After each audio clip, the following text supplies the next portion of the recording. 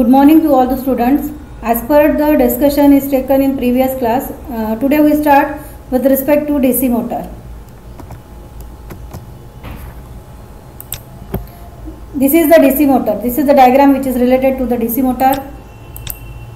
The DC motor. The DC motor or a direct current motor converts the electrical energy into the mechanical energy. A direct current motor is feared simple electric motor that uses the electricity and a magnetic field to produce a torque which turns the rotor and hence gives the mechanical work. So this is the diagram which is related to the motor.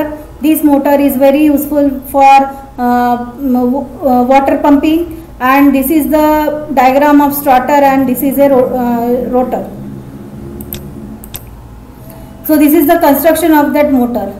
The construction of that motor in which the various parts are connected, the various types of the armature, frame. This is a this is the main diagram in which there is a axle. These are the rotors and on the rotors there are a starters. So this is the main parts which can be completely covered with respect to the parts and construction. So working principle of the DC motor. When the electric current passes through the coil in a magnetic field, the magnetic force produces the torque which turns the DC motor. The electric current supplied uh, externally through the commutator. The commutator reverses the current each half revolution to keep the torque timing and coil of the same. So this is the uh, armature in which these uh, north pole and south pole can be rotated in the DC motor. The types of the DC motor. There are three types of the DC motor, DC shunt motor, DC series motor and DC compound motor.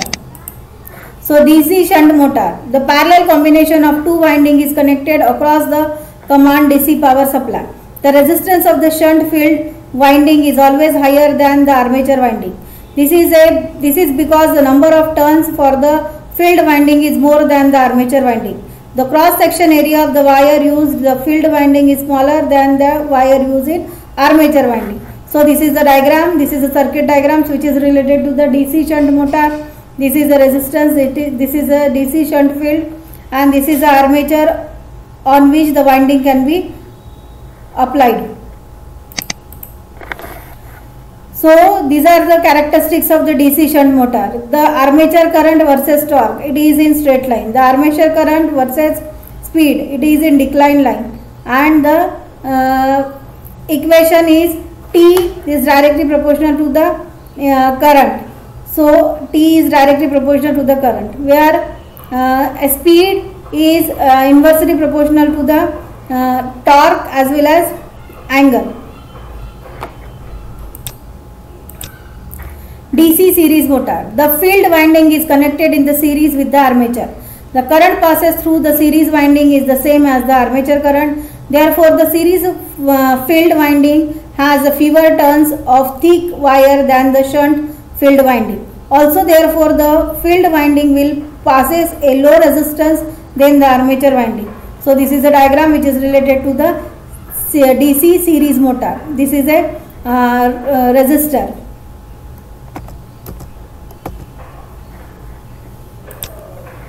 So these are the various types of the characteristics and the same functions can be used with respect to this armature.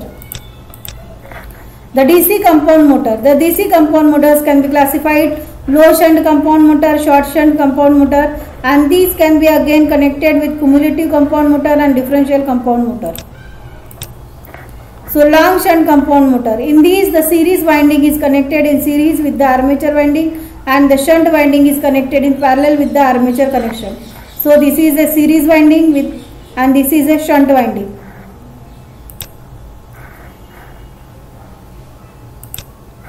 Short shunt compound motor. The short shunt compound motor, the series winding is connected in series and the parallel winding is connected to the armature shunt winding.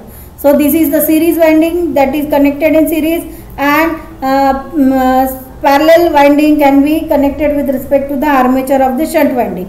This is done to get a good static torque and constant speed characteristics. The cumulative component DC compound. If the two field winding that is the series and shunts are wounded in such a way that the flux produced by the odd or resist each other. The differential component or DC motor. if the two field winding series and shunt are wounded in such a way that the fluxes produced by them always try to oppose and try to cancel each other.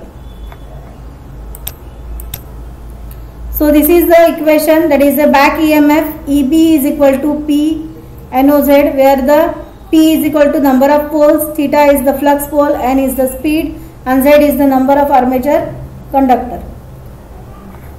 So EB can be calculated with EB V minus IA upon RA and the equation of the speed that is a VB 60A upon POZ.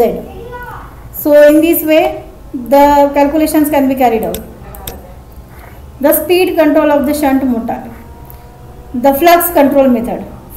For controlling the speed of the shunt motor, the flux control method. To control the flux, the, uh, the rheostat is added in the series of the field winding as shown in the figure. Adding a more resistance in series with the field winding, it increase the speed and decrease the flux. So this is the uh, rheostat and rheostat and this is a uh, shunt winding. The armature control method. When the supply voltage V, armature resistance RA, supply voltage V, that is the supply voltage V and armature is RA is kept constant. Then it is directly proportional to the armature current. Then it is directly proportional to this armature current. So voltage control method, the multiple voltage and ward Laborde system. So this is not included in your syllabus. So speed control, that is a flux control. This is a diagram which is related to the armature field control. This is a field director, armature director, taper field, etc.